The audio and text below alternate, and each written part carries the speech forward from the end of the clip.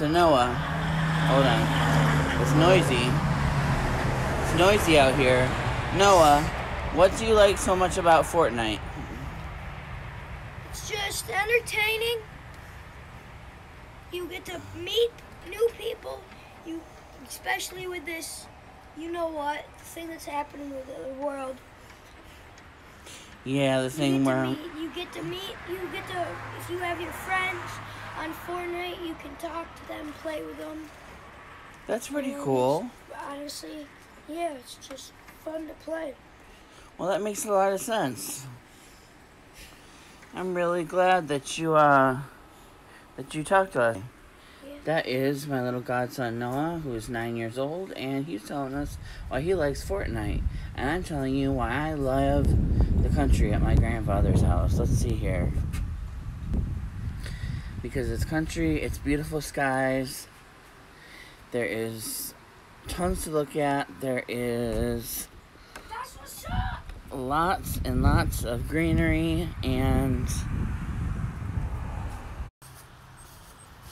we got a lot more farmland out here as you can see when you hit the backyard you can look back and see all these cornfields going back lots and lots of greenery we've got the Wendler's farm over here we got a lot of country life around here to take in and appreciate. Lots and lots of greenery all around as we walk through. This here used to be a humongous, humongous tree, and it was a weeping willow. And I wish I still had video or pictures of it to show you guys because it was beautiful.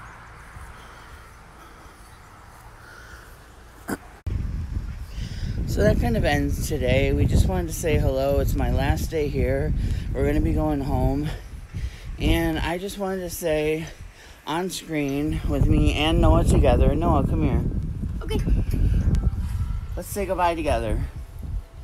Bye, everybody. Bye, everyone. We'll see you guys soon and watch our videos in between, okay? Love ya. Love you. That's a Noah and Kenny production.